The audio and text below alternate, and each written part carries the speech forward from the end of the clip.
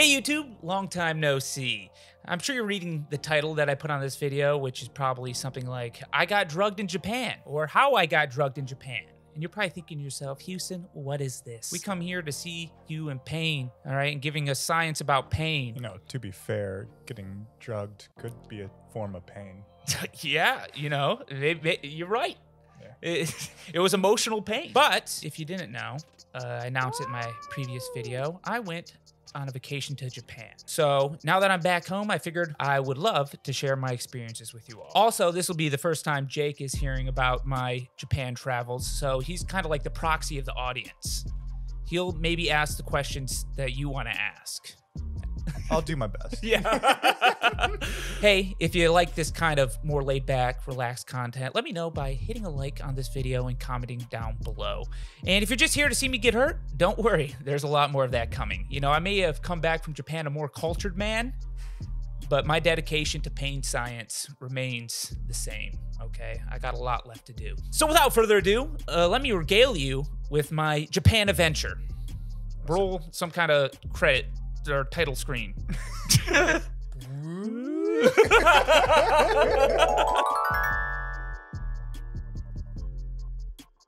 I figure before I tell the details of my trip, how I got drugged, etc. I want to tell everyone why I decided to go to Japan. I had a good buddy that went with me to Japan, and this good buddy you guys have seen in a video. This is going to be like an immersion break. He's our studio audience member. Turns out he's my friend. I never would have put two and two oh, together. Oh wow, yeah, it's crazy, right? but essentially, we I've been friends with him a long time, and we kind of got, got closer and bonded over this crazy thing called anime. Have you heard of this? I am a fanatic. Yeah. Japanese animation. Okay. It might be cliche, but I wanted to go to Japan large part because I'm a big anime fan. Love anime. I've watched pretty much the majority of everything. Uh, and it honestly got me really interested in Japanese culture. So I think a lot of people, when they go to Japan, maybe it's more well thought out than my trip. Plan. a, very loose plan. Out of, uh, maybe an outline. Uh, So you were really just going to find some anime girls. No, no, no, That's it. no. I was not. I was there to experience the culture. Okay. Of waifus. sure. I mean, you know, if I found a waifu, cool. You know. But if not, that would have been also cool. Not a big plan. All I knew was the hotels I was staying at and the locations. So we went to Tokyo, Kyoto, and Osaka. Kyoto and Osaka are pretty close to each other. Um, you guys can critique my places of where I chose to stay in the comments, but I was pretty generally happy with those three picks. But we got Tokyo, uh, got an Uber to the hotel. Uh, this day was pretty chill. We found a ramen shop. Day one there, the most divine ramen I've ever had in my life. It was just so savory. The umami, the umami was so strong. It was just, it was the best What's and mommy? savory. Gotcha. Another way to say savory. Gotcha. Okay. Got that from Food Wars. I thought that was gonna be like a type of food, so Yeah, no, no, it's a it's a way it's a way you describe food. Okay. Long story short, I ate a lot of food in Japan. I wanted to try all the food, different foods I could, and the verdict is the food there is a lot better than America. Oh. Way better. Cliff Notes version of Tokyo. I went and saw Tokyo Tower, second highest building, tallest building in Tokyo. In that though as well, they had a VR arcade. Now you're speaking my Yeah. language. Now, I, we went into it because it was really cool. The walking in is super. I took a video of the walking in. It's like it's like this reflective thing and all that, and it's a three floor arcade. So, and each floor has different things. We only had an hour or like it was like two hours in it, but it went by instantly. Yeah, Uh, I'd be there all day. yeah, One. yeah. I'd do one day just for arcades. Yeah. Come to find out, those places are all over Japan. After that, though, I went to a place I really wanted to go Akihabara. Now, if you watched any anime or follow any like Japan uh, YouTubers, uh, Akihabara is like the otaku anime like uh, hub of Japan. So this is where they hurdle all the anime stuff. Yes, Yeah. kind of. First thing we did when we went to Akihabara, I went to a maid cafe. Describe this maid cafe. I'm very curious what that entails. Well, you see, um, getting a little red here.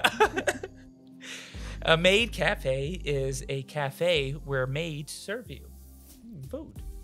You liked this, didn't you? I had so much fun. I would say it's more than just eating, it's an experience. I hope these maids get paid a lot because they are doing something like 24 7. They're not just serving you food, they're putting on a show. Oh. They're like dancing up front. Uh, you know, I ordered a drink called the Three Second Stare, longest three seconds of my life. She had like a little clapboard, and I had to stare at her for three seconds, and it was over. But it felt forever. Uh, that's a weird thing that you can buy. I will say, I think uh, me and my friend Austin stuck out like a sore thumb when we were in there because uh, we sat down. They had to put us on the table in the back. Uh, and immediately, these uh, four Japanese men kind of peer over and like stare me down for a second. They take their maids and Yeah, they the- recognize Yeah, this. there's some the American man trying to steal the maids. the maids are very like over the top. They serve you food, and then they they since we're American, they're trying to be very nice with us. They like moe moe kyun with hearts. moe moe kyun. Every time they serve you something, they want you to say it. This is your guilty pleasure. Yeah. uh, there was a, you know, listen, that was, it took a lot of strength to sit through all that, you know, because I'm a, I'm an American man. Okay. You liked I like lifting weights. Damn it. like lift, lifting weights and drinking whiskey. Mhm. Uh, but this is the complete opposite of that. That's the biggest reason I wanted to go to a maid cafe because you don't see that in America or really anywhere else. Uh, so I highly recommend it. If you're ever in Japan, go to a maid cafe because it is a very unique experience. But after that, we toured Akihabara and we started doing some shopping. And Jake, I got you a gift, you know, a souvenir. You got me some? Yeah, I got you some. And I think I hope you like it. Is it what I found in Akihabara. Hopefully, it's not a maid outfit. oh shit, boy! Yep. Jake told me he wanted Asuna, so from Sword Art Online. oh, So I got you Asuna. that is scandalous. Yeah. I'll be right back. I got a little story about this gift. Before I got that, I got myself this. Oh. It's Rem. Best girl Rem. You know, the one I got the body pillows of? Yeah, it's her in a Halloween outfit. We're gonna have to cut right here. This is getting too weird. You know, I'm not a figurine type of guy. Once again, I'm an old fashioned American man. Uh, but uh, there's no way I wasn't going to Japan and not at least getting one of these figurines for myself. These are pretty cool. Pretty cool. But yeah, uh, I got this one and then I was on the hunt. I was on the hunt to find you in Asuna because I saw this Asuna in the same place I got this one. And I was like, if I can't find one, I'm going back and buying that one. You're a gentleman and a Yeah. scholar. Thank you. So uh, put it in your office with some pride. yeah, maybe don't let uh, your girlfriend see it. It was a gift. It was a gift, honey, I swear. No, I don't love her more than you. I just loved her first. Yeah. but yeah, Akihabara, awesome. I honestly wish we spent more time there. Next day, we went to the fish market. I would say the name, but I would butcher it.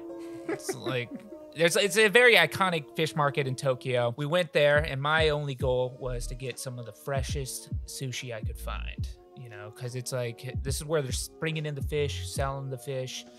Uh, I think somewhere in the area they have like an auction for like tunas and stuff like that. You know, tuna can go for like hundreds of thousands of dollars.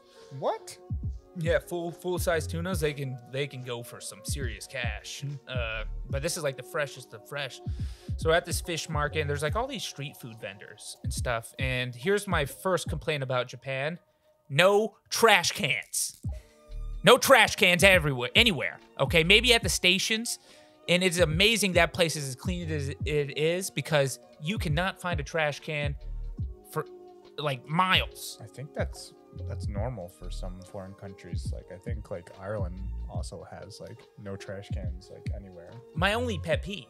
I'm I'm totally cool with it, but when there's like an area uh, full of street food and stuff where it's like encouraged to be buying street food and stuff and there's no trash cans it's like what do you do with the all my sticks that i got for the the meat sticks takoyaki sticks. Put them in your pocket. Yeah, put them in your pocket. Like, luckily, we could sort of find places at that fish market. Some people had trashes, but at that fish market, I had the best sushi of my life. We went to a like a there was like a little restaurant right in that fish market. The most divine sushi, the freshest tuna and salmon. The tuna just melt in your mouth. Well, now I'm jealous. Yeah, so good. So good. But after the fish market, we went to the sumo. the sumo. That's right. And turns out it was the same sumo tournament that PewDiePie went to recently. Oh, I didn't even know PewDiePie went to a sumo. Tournament. Me either until uh, Austin, who was on the trip with me, uh, sent me a video that he was at the sumo tournament. And I looked at the video. I'm like, yeah, that's the same place we were at. But sumo, pretty cool to see in person. So I don't know the sport of sumo, but isn't it like a lot of pushing? Can I slap? Can we slap a little There bit? you can, yeah, yeah. You, you we saw some of that, like some faster guys. Uh, you know, sometimes we, you, there would be like it looked like a guy was totally outweighed, but he was quicker, and you could almost like outmaneuver him. You know, a little bit more spry. but if you're ever in Japan and you got the opportunity to see a sumo tournament, I would definitely recommend it. It's uh, one of those another one of those things that is uniquely Japan, uh, in a pretty cool experience. Now, where this title of the video came from was I went to a club in Japan. You know, only reason was I we had no plans. This was our last night in in Tokyo. The next day we had to get on a train, go to Kyoto. On Instagram, someone looked uh, replied to one of my stories of me in Japan and said you should check out this club. I'm not going to say the name of the club because I'm uh, not recommending anyone to go there. but they told me to go to this club, and my buddy Austin is sleeping in the taxi on the way there, catching in a nice power nap. I'm like, oh great, this is the setting the tone for the night. But we get there. One thing that was didn't seem like a red flag right away, but probably it was in hindsight. Two foreign guys come in a Japanese bar. We noticed right away there was like VIP areas, right? Because we tried to walk into one, and they're like, no, can't, no, don't do it. We got like a drink or two, uh, and we hit this Japanese guy comes up to us and starts talking to us. He actually spoke some English, like we could have a conversation with him. Uh, we just thought it was a friendly Japanese man, perhaps. You know, how he couldn't possibly be in cahoots with the bar, the the club, right? So I'm not, I'm not gonna say his name or anything. Uh, he, you know, being really friendly. I was just talking to him because I thought it was like, you know, I'm kind of getting some insight into Japan. You know, I kind of told him I was a YouTuber here, and then immediately he was like, "Oh, wow." Then we figure out about the VIP section, and I was like, "You know what'll be really funny? If I buy the VIP section." yeah. This will be a, a hilarious joke, and then I could take an Instagram video of, of being in the VIP section. They explained the pricing to us. Essentially, it's two hours. You have to buy at minimum two bottles of champagne. Bought the VIP. At first, started off pretty dang cool. I had to order the two bottles. I bought the cheapest ones. There's a whole list. I'm like, yeah, give you two of the cheapest. Because I'm just here for the joke. They they were started pouring our champagne, right? The weird thing is, and why I kind of think I got drugged there was I went from perfectly fine to browned out, trying to piece together my night the next day level within. It was like it was only two hours that we had that VIP. I didn't really think anything of it. I was just trying to like have a good time and like enjoy the stupid amount of money I paid paid for this stupid VIP joke I did. But my friend next to me, he was being more cautious. He started noting like uh, about how there was like a stream of bubbles coming from my glass. Austin was being so paranoid. He had him pour every glass that was at the table because he was looking at mine having that stream from the bottom. Mm-hmm. And he's like, pour all the rest of the glasses. And I don't like, I don't know anything about champagne, but all the other glasses had like bubbles around the outside, kind of what you would expect from champagne. You know, it's the bubbly. But mine had just had one singular stream.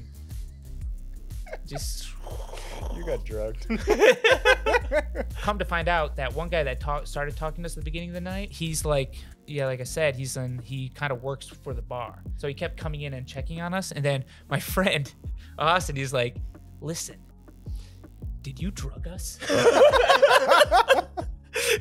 and he started like grilling him, grilling him, like, hey, just just tell us if there, is there drugs in the champagne? he's like, he's like pointing at me. He's like, he's started to act a little weird. That guy ended up disappearing. and I, I, you know, I don't know if it was because there was like maybe some translation issues happening, mm. but you know, in my head, the immediate reaction would be him denying it, saying no. but he just kind of disappeared. So do you remember the rest of the two-hour session? Or no? Simply, essentially, what happened? We spent like 45 minutes downstairs, and then we decided we were going to go upstairs to the third floor. As soon as we get up there, this is where I still remembered stuff mostly. I noticed a lot of foreigners up on the third floor. I don't know what, why that is the case. I don't know, but there was a lot of foreigners up there. They put us in a place.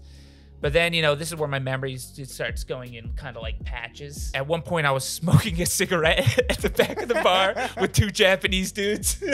you know, uh, I, from what I'm told, my friend said I was having a great time. When the two hours ended, I think he stopped me from buying more time. I ended up going back to the hotel, got a taxi back. My friend organized all that because I I was useless. I, I don't even remember the drive back. It was like 6 a.m. I ended up vomiting my guts out uh, mysteriously, and that was the whole day. I was I was ranting about how was I that drunk. Uh, I do remember that when I started coming to at the hotel. Mm-hmm. I think uh, I would have been in a lot worse scenario if I didn't have a friend looking out for me because uh, I probably would have bought a lot more stuff. You've been on top of the VIP table. Yeah, your shirt uh-huh, yeah, uh huh, partying. smoking. Yeah, chain smoking some cigarettes that someone bottles gave me. around. I don't even smoke cigarettes. but hey, uh, long story short, my recommendation: avoid clubs in Japan. So we went to Kyoto, took the bullet train, saw Mount Fuji. I got had a really nice hotel in Kyoto, had like a terrace and everything. I was like, you know what? Rough last day in Tokyo. I'm gonna chill in Kyoto. We went to an onsen.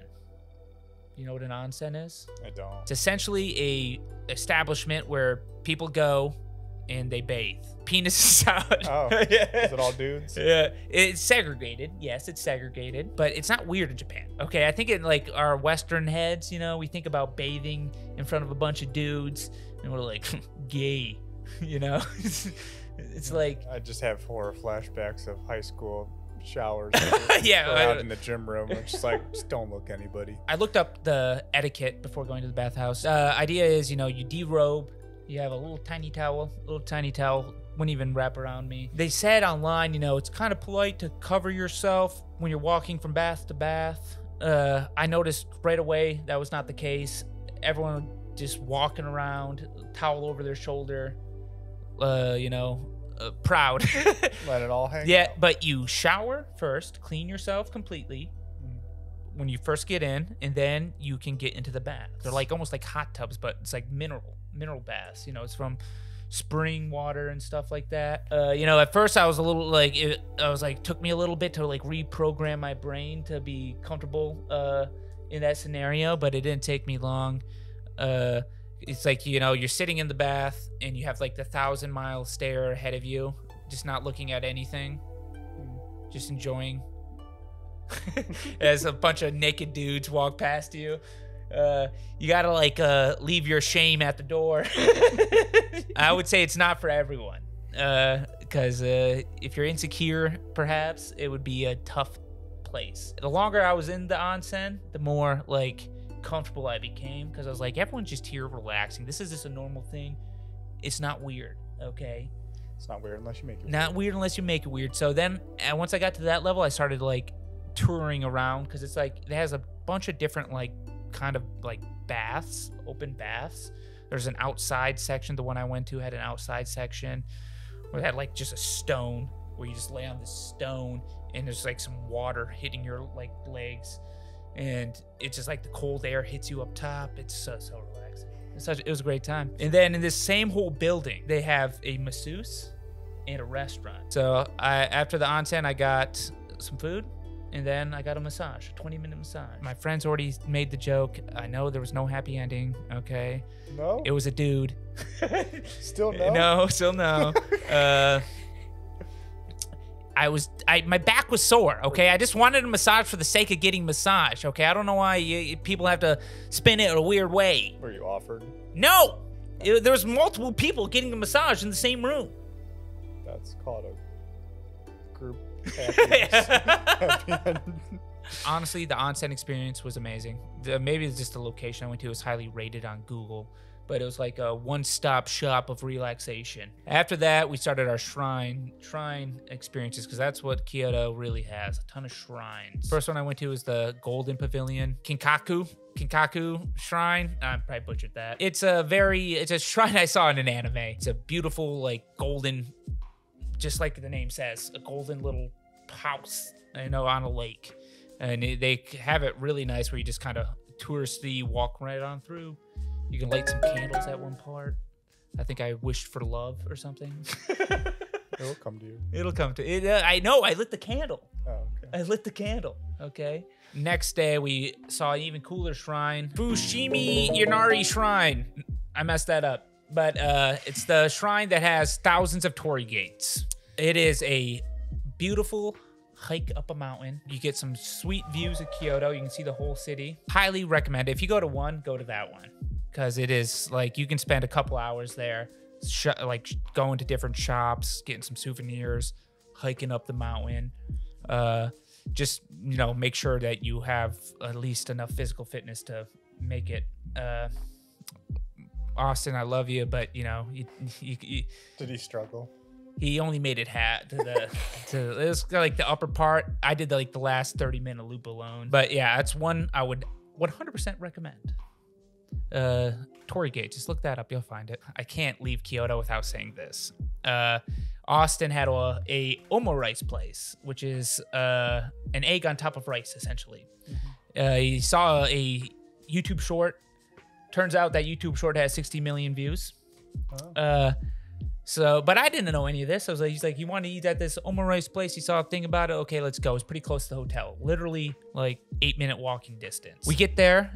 There's audio line out the door, and it's at a. It seems like a very small place. It's like in an alley, and uh, they're like, people were like foreigners, and they're like, yeah, it's a, it's a four week uh, wait reservation. and we're like, what? I was like, um, uh, with me, I don't. I've just, I've just heard about it in the last day, and we're like, oh, this is news to us. And they're like, we talked to the the lady that was working there. Luckily, she could speak English. She's like, well, just wait, wait five minutes. Uh, we might be able to get you in. And then, sure enough, we got in. So we're in the very back. It's a very tiny place. Maybe holds twenty people top. I figured out why. This this is a whole show. This guy, he's a beast. He's a beast of a chef he and it's like he's like very theatrical. He's like flipping the omelets, flipping the eggs in the air, flipping the rice, and then he comes out to your table and he does his special splitting technique. He'll like he'll like break the egg in unique and different ways. It's a whole whole whole experience. We were very lucky to get in with no reservations. Like like I said, it's uh, omelet and rice. But uh, very good tasting. Highly recommend uh, Kichi Kichi Omurice. Turns out he's uh, very famous, which was news to me. He has his own brands of uh, cooking utensils and everything. It's awesome. Yeah. After that, very short train ride uh, to Osaka. And by this point, we were dead tired. So didn't do nearly as much as exploring in Osaka as we should have done, but uh, we did do a couple cool things, and the majority of it was drinking sake. you don't have to do much. Well, you know, I like sake. Austin likes sake. So we started going to like some little sake bars. I'm happy we did because we learned quite a bit uh, doing it. The people that worked there seemed very like willing to like they would give us pamphlets of like information stuff so we could learn more about, about sake and like how to drink it, how to serve it, where it's coming from, the best prefectures to get it from. Uh, and this happened at a couple places. Uh, they would just give us more pamphlets and explored a place called Dotonbori. Uh, a lot of cool little places there. Could have probably spent much more time, but we ran into like dart bars, pool bars, uh, stuff like that. There was an all-you-can-drink bar. Oh. Uh, and you know the crazy thing on all these bars we went to, surprisingly less drunk than we were at the club, and we drank more. We drank more, and we're surprisingly less drunk. You got drugged. Last thing I did in Osaka was uh, visit Osaka Castle. Uh, people kind of recommended it to me, and it's a very historic site. Castle grounds uh, have a museum. It's kind of like a little, it's a giant park, really. Uh, very nice. Uh, you got climbed to the top of the castle. Got some sweet views of Osaka with that. Uh, and that was about the whole trip. Japan as a whole, though, awesome country. It was a great trip. Uh, did everything for me that I wanted it to. Uh, got to experience a different culture, and uh, but at the same time, made me really appreciate uh, my home life. Two dudes, anime bros on tr- an adventure. Uh, we got around surprisingly easy and did everything we need to. The the service there for like restaurants and everything is immaculate, amazing. Even though we don't speak the language, uh, it is such a pleasant country to uh, visit. And I the first thing I noticed when I flew back in Detroit, man, these bathrooms are dirty. but now I have some knowledge. I know how to get around a little bit better, and uh, I know some places to go and not go. Uh, You'll have to take me sometime. so may, maybe I'll go there again with the intent of maybe uh, vlogging it a little bit more. Now that I've experienced it once, amazing, amazing place, like I said, and I highly recommend if you ever get the chance to visit, go ahead. I hope you enjoyed my uh, travels to Japan. Uh, maybe you learned something, maybe you didn't. Uh, it was kind of just a story time because you know Jake hadn't heard any of this yet. So, but we'll be back to pain science stuff immediately after this video. I got a lot of ideas, some uh, light goal stuff like turf burn, getting hit with a driver, stuff like that. It'll be fun. I'm excited. Uh, My body's healed. I got a massage in Japan. I'm in like great health. That's all. You had to go all the way to Japan to Get get a massage. First massage of my life, by the way, and it was it was amazing. Uh, so I'm healed up and ready to hurt my body. That sounds weird saying. That's your life. Yeah. It's, it's how we make the money. but thanks for listening, and we'll see you next time. Thank you. Bye.